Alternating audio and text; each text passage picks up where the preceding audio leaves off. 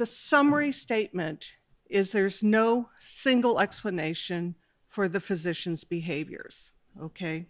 So I'm going to talk about some of the motivators for it, but we can't just come away with one simple answer.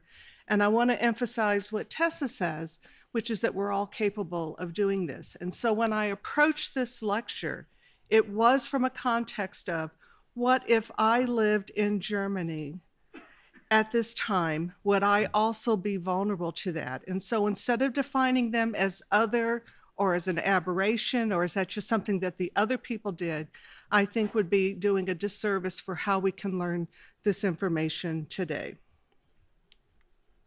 Okay, so before World War II, Germany was a revered location for medical education and research training.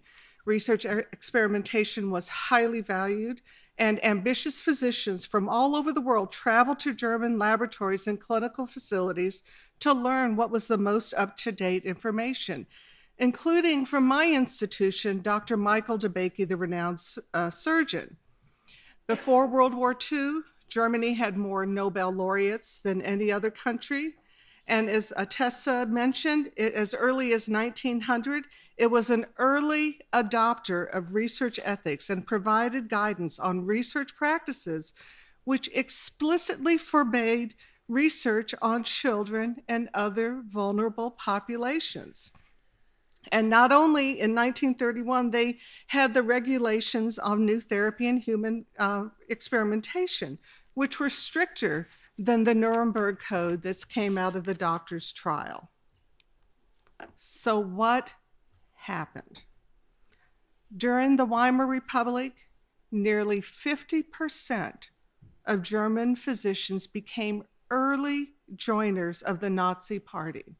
This is a greater percentage enrollment than for any other profession. Similarly, a great number of early Nazi joiners were medical students. In contrast, Jewish physicians were characterized as unethical, they were ostracized by their colleagues, and Jewish physicians were eventually prohibited from practicing medicine except on their Jewish patients. I would like to emphasize this image, which is an artist by the name of Ari Gallies. And Gallies' intention was to depict from this image how the original Hippocratic Oath was trapped behind the images of concentration camp uniforms or perhaps images of prison bars. And he used charcoal ash to create this image, and this reflects crematorium ashes. In post war interviews, physicians, Nazi physicians, stated that their oath of loyalty to Hitler which they took as SS military officers, was more real to them than a vague ritual that they performed at medical student graduation. And even though we've all been talking about the Hippocratic Oath, the Hippocratic Oath was originally created in ancient Greece because the society of ancient Greece did not trust the physicians at that time. So they came up with this oath as a way to have an antidote to the distrust that society had of their physicians. Okay. Okay, so these images are showing where research experimentation occurred, and it wasn't just in the concentration camp. That wasn't the only location of where doctors had aberrant behaviors. Okay, so the next slide is to summarize key examples of external behaviors that doctors had that were easily observed, and they reflect how medicine became political, politicized. So, Robert J. Lifton's book included, he was an American psychiatrist who interviewed uh, the physicians after the war, and this was the first in depth study of how medical professionals rationalized their behavior in the Holocaust. So, for example, physicians assisted in writing the legislation. It wasn't just that they followed the legislation, they helped write it. And this legislation permitted sterilization of medically defined members of society. They also not only wrote the legislation, but they reported those individuals with disability, and this was disguised as public health. In a medical capacity, they served on hereditary health courts and they used scientific criteria that would legally permit sterilization. None of this was done without examining the individuals. And not only did they stigmatize their Jewish colleagues, but they prevented enrollment of Jewish students into medical schools as early as 1938. And by 1938, later that year, they revoked the licenses of practicing physicians and they renamed them as providers. There were very limited protests against these processes. I can give an example of the White Rose, which was a nonviolent resistance group, and those individuals ended up being killed. Physicians also taught racial hygiene courses based on uh, the teachings of leaders in the field. And as Tessa Chelouche described, mandatory lectures were part of the medical curriculum beginning in 1939. The ethical in training included the unequal worth of human beings and the authoritarian role of the physician. And they described the moral imperative to preserve the purity of Aryan people. Furthermore, they performed eugenic sterilizations, which affected almost 1% of the population. Okay, so these external behaviors became more atrocious as the political system itself became medicalized.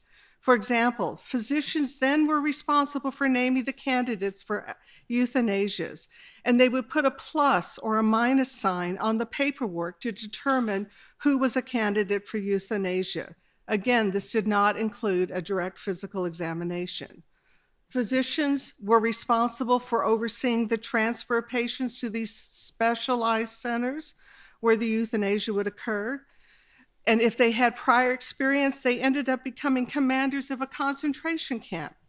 The physicians themselves performed the lethal injections. They oversaw the systemic starvation of patients and they managed the gas chambers. They also coordinated the processes for uh, requesting autopsy specimens and falsifying every death certificate. And this is separate from the selection process that we're all aware of. And this is separate from the research uh, processes that occurred in the death camps, the hospitals, and universities. Okay, so you've seen this slide, but what I think is important, if you look at the top left hand corner, you see, this is Adolf Hitler's stationery. It's his personal stationery. So it didn't have to be a law, okay? That, but his word became law. And so people, this gave cover to the doctors for their behavior. But what is one of the historians is talking about, even though this had Adolf Hitler's signature, they think that the draft of this correspondence was actually written by a physician, Dr. Max de Crinis. And this became a mechanism with physician support to link the euthanasia program now with the war effort, which was politicized. And this was an attempt to minimize a physician's reticence to participating in the program. Okay, so here's an example of a physician. And this is uh, Dr. Viktor Brack. Here he is at the Nuremberg trial. And they would argue about which mechanism of euthanasia was the best. So Dr. Viktor Brack said the syringe belongs in the hands of the physician. And Karl Brandt was saying, no, maybe we need to do the gassing. Only doctors should carry out the gassing. And the way to show that Adolf Hitler was ethical, when Brack and Brandt were talking with Hitler, Hitler said, well, which way is the most humane way? So this was the historical pr- precedence for this. Okay, so now I want to talk about internal physician behavior. So we talked about what everyone could observe, but what was going on internally, psychologically for the doctors? And we've been trying to understand how physicians who were supposed to uphold the Hippocratic Oath actually justified their behaviors. How did they rationalize it? And how did they cope with these behaviors that they were doing? And so one of the things that when we interview these individuals, they describe their sense of duty, not only as members of the military, but as members of the Nazi Party and as members of society. So, for example, if a soldier can convince himself that the enemy is the embodiment of evil, that soldier can then maintain the perspective that murder is in the service of an altruistic and worthy cause. So the soldier has what was called a killing self that's created on a behalf of a transcendent cause. So this is an internal behavior. One of the things that they talk about is how we split, and this is considered a subconscious behavior, and it's how one avoids an internal conflict, especially if there's a moral conflict about the consequences of one's behavior medical physicians were attracted to Nazism because it was a way of alleviating a sense of powerlessness that was prevalent between World War I and World War II. And if you joined the Nazi Party early, this became a mechanism for upward mobility and financial security. And that the other thing that other historians talk about is that some of these physicians actually were doctors during World War I and that they were scarred because they saw how much disease and death, and that made them more maybe amenable to understanding that Nazism could be a way to control that. The other thing that Lifton talks about, he says that the, when he was interviewing physicians at Auschwitz, they talked about, you know, it was difficult, but that it was a necessary form of a personal ordeal. And one of the takeaway points from Lifton's book, and even modern day psychiatry emphasizes this, is we all lie to ourselves. Okay, and by that lying, we are able to create a foundation of self deception, not only in our behaviors, but also in how we cope. I mean, just think about a simple thing of people that look like a good husband that but they're having an affair. They're lying to themselves okay? Or that people can do research and then accept money on the side or they have a conflict of interest. They divide their good self from the bad self and that they do not let those doors between those two personalities come together. Okay so the next slide, again, I'm just showing the splitting, you know, which the heaven and hell approach, is that we want to try and further understand how physicians were able to perform these disparate activities. And one of the things that they lost were their professional boundaries. The physicians were extremely methodical in their activities. They overcame any innate reluctance to participate in this violence, and part of that was the socialization process. There was a subset of physicians that were actually very ambitious and were zealots and were quite ambitious in their actions and enjoyed this work. But the socialization process of medical training and post career activities also further maintained a sense of normalcy that multiple individuals described a shared sense that Auschwitz was morally separate from the rest of the world. So instead of the doctors acting on a duty to warn, they felt that these individuals were already condemned to death. And because they were condemned to death, there were no behaviors that the individual physician had to experience on their research or clinical activities. So, this is what the psychiatrists again define as splitting, which is the ability to harbor contradictory attitudes, beliefs, and behaviors, which allows that individual to maintain a process of denial. Okay, so these effects of these decisions and behaviors were also not truthfully labeled, and they were kept secret. And they had a language that they called their behaviors as a, a uh, mercy killing or as a selection. They didn't call it murder or genocide and that by if I would send someone saying that they were being selected, but I did not actually witness the cremation, I could plausibly deny of not knowing what was going to happen. And so I maintained, if I maintain these secrets, it's not just within myself, it's with my colleagues, it's with my family, and these secrets were maintained after the war. So another contrast to this, that some of the physicians said that they were providing islands of humanity, that they were actually doing a lot of good. And because these separate selves did not remain integrated, there was not a moral conflict, and it actually diminished the appearance of individual guilt. Okay, so these rationales allowed one to maintain the fiction of a good self. Okay, so you can see this. And they, many physicians felt with absolute certainty and convictions that their behaviors were just.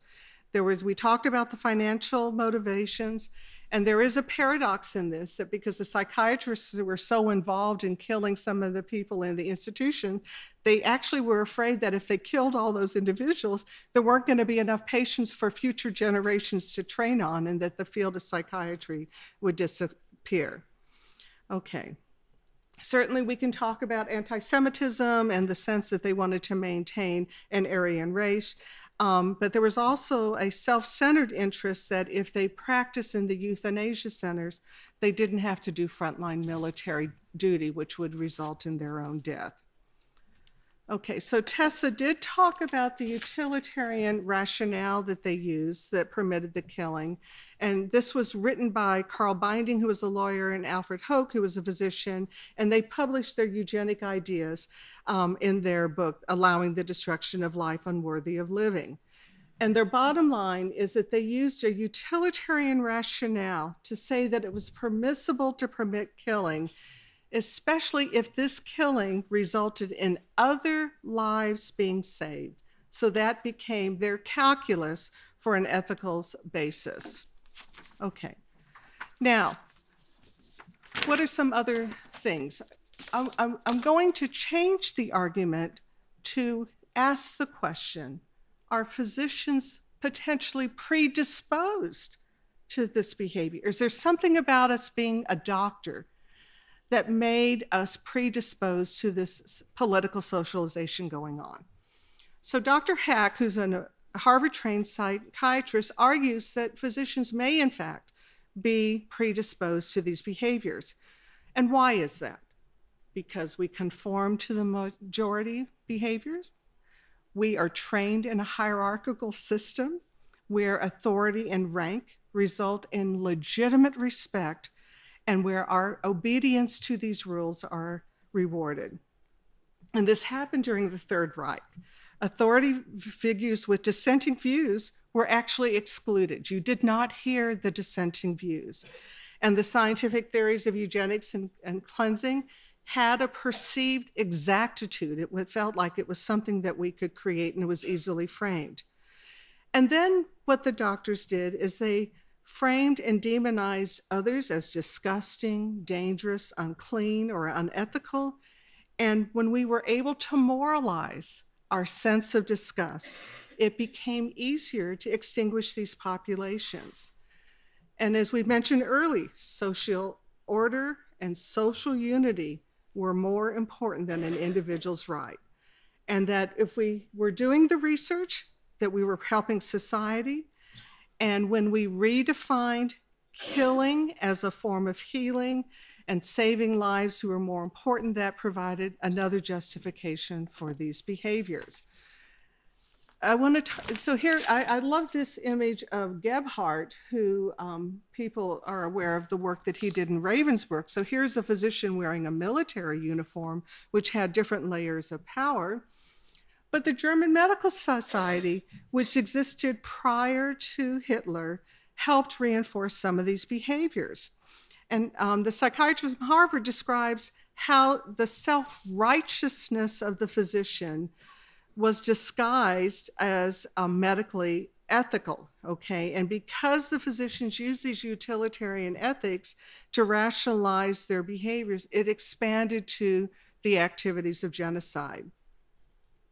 Michael Grodin describes this fragmentation process and what would happen in these institutions is the labor the different steps involved in this were divided among many different people so that one individual didn't have the full responsibility. And so if i could limit what my potential role is that would limit the guilt that i had.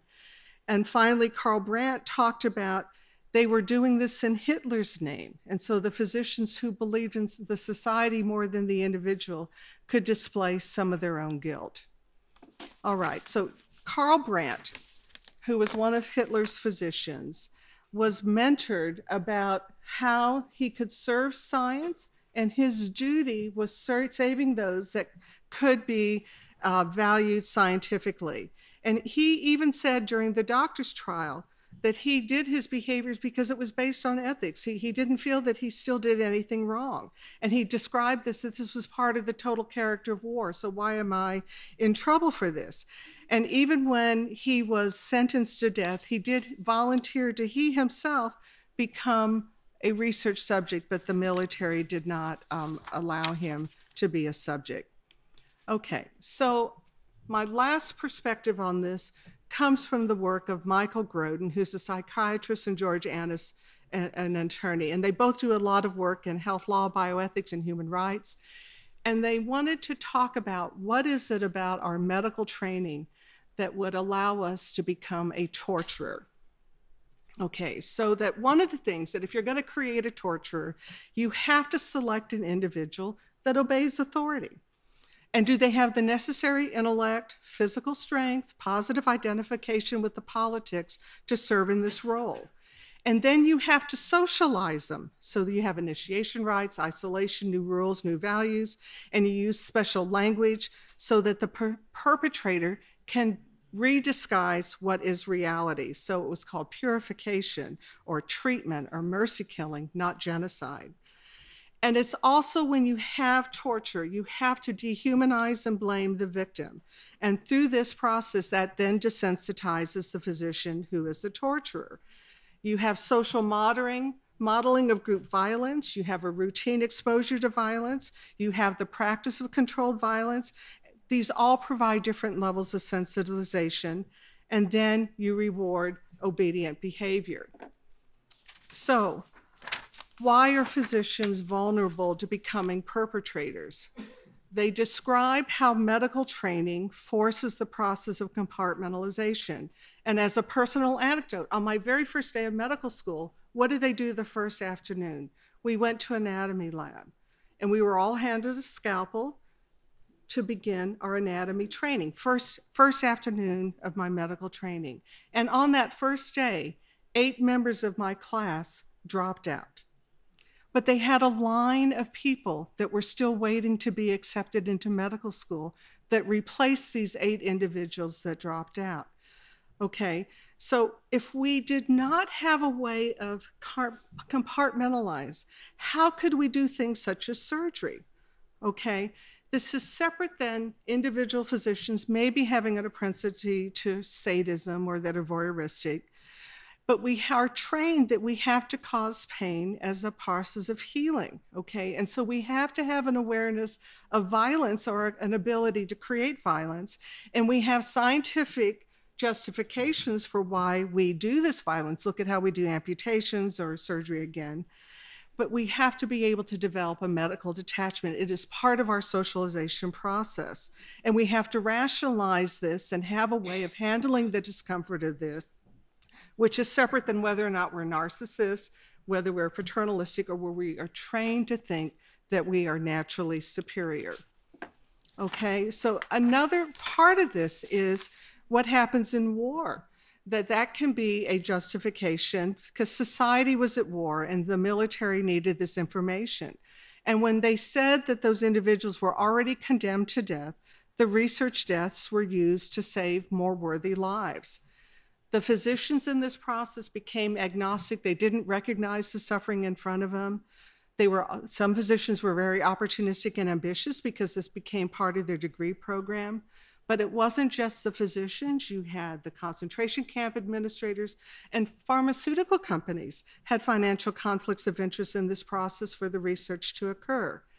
And finally, there was no external constraints on this process. Society did not have a way of slowing down the velocity. And there was an inaccessible supply of subjects and an inexhaustible supply of autopsy specimens. So, my final slide comes from Dr. Sherwin Nuland, and he, this was a quote when he had attended the Deadly Medicine exhibit that was in Washington, D.C. in 2004. And he said, To my startled dismay, I found myself understanding why so much of the German medical establishment acted as it did. Nuland realized that given the circumstances, he might have done the same. And he said, What we learn from history comes far less in studying the events than in the recognition of human motivations and the eternal nature of human frailty. And so, in closing, I will ask you how many people in this room have the fortitude or the insight to be a dissident, to be a witness, to be a conscientious objector instead of a bystander or a perpetrator. And, and, and what are the first steps in this process? It's we have to have an awareness of how we respond when we see amoral behavior or when we see medical mistakes or ethical transgression. Is our dissent visible or invisible? How do we limit the dehumanization that occurs when we have to compartmentalize as part of our medical training? And how do we integrate authentic moral behaviors? Because many of us only have borrowed training. You know, it could be our religious upbringing or the socialization, but what are we doing that's authentically ours? And as a final anecdote, I can talk about my experience during the AIDS epidemic. And this is when we barely had AZT. This is before we had medicines, and everyone was really afraid that if you took care of these patients, you were going to die from some horrible, horrible infection. And so there I am working in the trenches, taking care of these people, and I needed to call one of my colleagues for a consultation because I didn't understand that subspecialty. And he was furious. He said, How dare you call me? I will never see any of your patients and never call me again. Okay. And he was a dermatologist. Okay. Nothing, I mean, he could just look at it. Okay. But even then, it was uh, striking to me how people could say no and that they didn't have the moral integrity to see the individual in front of them. So, my final anecdote comes from one of my colleagues who is a surgeon. And when she interviews medical students to come into her program, she doesn't ask, you know, what kind of surgery do you want to do or, you know, what's your training? She asks them, what's the most difficult ethical question that you've experienced or have you ever exhibited any unethical behavior and how did you manage that?